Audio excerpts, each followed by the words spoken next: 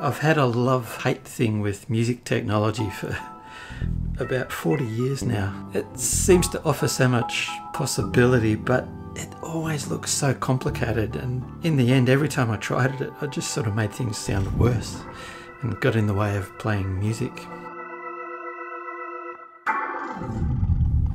But last week, my cousin Alan in Glasgow reminded me of an Emerson, Lake and Palmer album and I thought, gee, I'd like to, I'd like to have a go at some sort of keyboard mm, extravaganza. Mm. So I decided to educate myself on the basics of Logic Pro.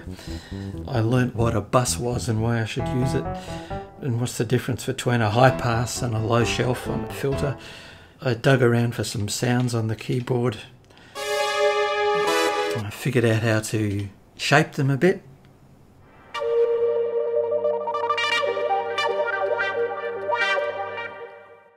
then assembled an enthusiastic audience and had a go at a variation on Emerson, Lake and Palmer's live version of Peter Gunn theme.